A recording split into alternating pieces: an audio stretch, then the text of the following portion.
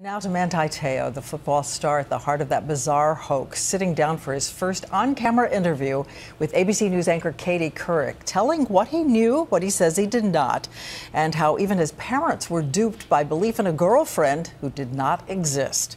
Tonight, we have a special first look at her exclusive interview. Katie will be here in a moment, but with the story, Matt Gutman.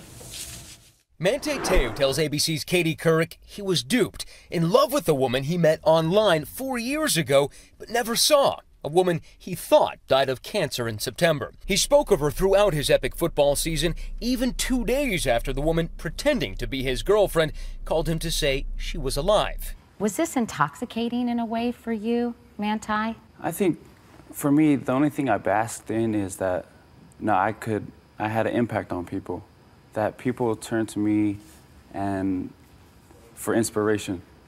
And I think that was the only thing I focused on.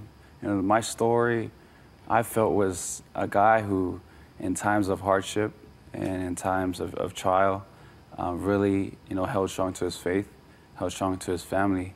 And I felt that that was my story. Even if that hardship was perhaps exaggerated? No, it was what I went through was real you know, the feelings, the, the pain, the sorrow, that, that was all real. Behind the elaborate hoax, this man. This is Ronaiah. Ronaiah Tuiasosopo, a Christian singer seen in these YouTube videos. And still you never let go of me. Te'o says made Lennay Kekua his alter ego, at first reaching out to Te'o on Facebook. Tonight, Tuiasosopo is likely holed up in his family's home, where no one is talking. Hey guys, can we just talk to you for one sec? But Te'o's father is talking, defending his son. People can speculate about what they think he, he, he is. I've known him 21 years of his life. And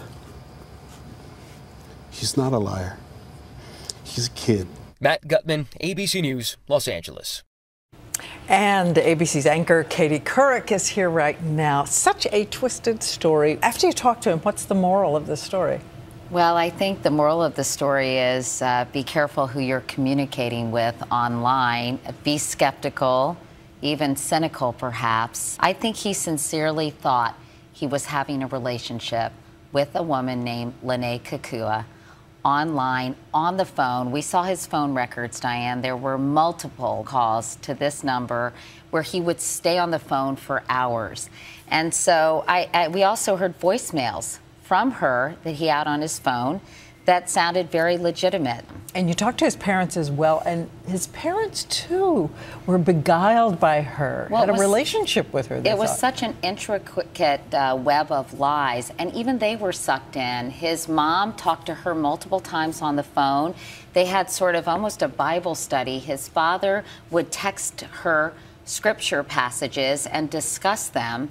Um, and so I think they were as stunned as he was when they found out that this was all sort of a mirage. Well, as you said, it's such a psychological maze you enter, and we're going to get to hear from him at last. We will all be watching. Thank you so much, Katie.